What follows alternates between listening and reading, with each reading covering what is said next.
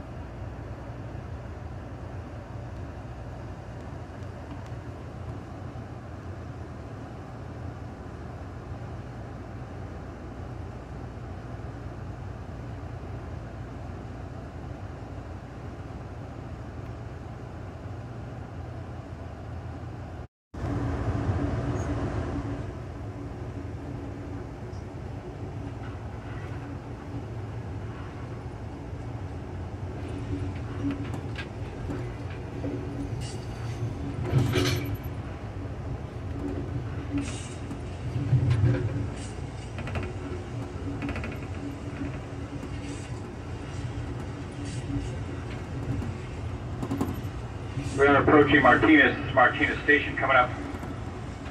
Martinez, if Martinez is your stop, now is the time to look around, make sure you have all your stuff. Martinez will be two stops. We'll be making two stops in Martinez. First we'll stop and let off the sleepers, then we'll pull up and we'll open the doors for the coaches. Once again, Martinez, two spots, sleepers first, then the coaches. Coming up in about six minutes, maybe five.